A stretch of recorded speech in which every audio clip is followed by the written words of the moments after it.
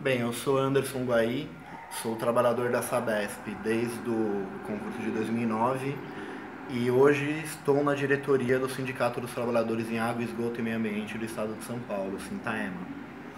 Sou trabalhador da Sabesp da região metropolitana, que é, é, é como chamam de filé mignon da Sabesp, porque aqui é onde há mais tecnologia, onde mais arrecada recursos e aonde também há maior exploração dos trabalhadores devido a isso. Né? Quando a gente coloca que a água não deve ser uma mercadoria, que a água tem que ser para a vida e não para gerar lucro, é por quê?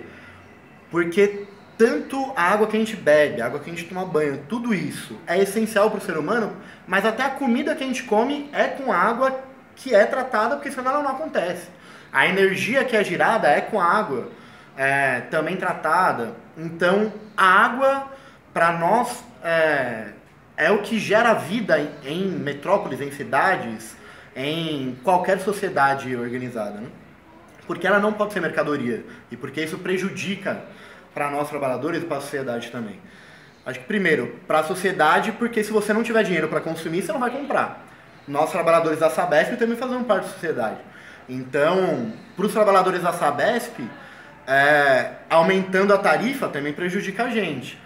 E não só isso, aumentando a tarifa, é, assim como aumentando o processo de manutenção, aumentando a pressão que os entes privados fazem para se gerar lucro, pioram as nossas condições de trabalho. Né? Você pega, por exemplo, é, nós que hoje temos 14 mil e poucos trabalhadores próprios, cerca de 8 mil terceirizados. Esses 8 mil terceirizados que são geridos por empreiteiras, que a maioria os tucanos são donos, isso daí é isso. Cunhado do Aloysio Nunes tem uma empreiteira que presta serviço na Sabesp. Você pega é, prefeitos do interior, todos têm irmãos ou irmãs que são donos de empreiteira, que prestam serviço para a Sabesp. Enfim, vários conflitos de dilema aí, né? Mas esses trabalhadores terceirizados, pela água, ter essa perspectiva de lucro para as empresas capitalistas e para os tucanos, eles têm que produzir lucro. E como se produz lucro no saneamento? Primeiro, você tem que fazer a manutenção rápido, ou seja, sem segurança. Você tem que cavar uma vala de 5 metros sem, esco sem escorar esse buraco. É isso, uma, a gente, muita gente acha que o saneamento é só apertar botão na estação de tratamento, etc. Não, não é. Você ir lá, pegar a medição, colocar a mão no esgoto, arrumar os encanamentos, né? Você pega aí na, na rua outro dia mesmo, tinha. Teve um, um arrebentado muito forte de um cano que tinha 5 metros do buraco. É isso, nós demoramos da Sabesp para escorar esse buraco, porque é isso, se vazasse qualquer água, qualquer coisa, os trabalhadores que estavam lá embaixo iam morrer soterrados. Né? É, enquanto o trabalhador terceirizado, que a gente não tem acesso, muitas vezes faz buraco de 3 metros sem escorar. Ou seja, Passou um caminhão, um vento, um trem, o negócio desaba.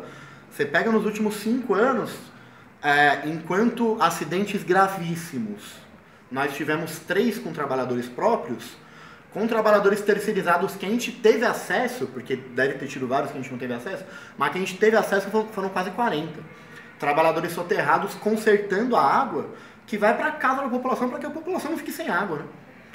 Você pega o, o interesse dos tucanos é tão gerar lucro e tão pouco dar água para a população que você pega a crise hídrica três anos atrás. A gente fez várias denúncias, falamos várias vezes.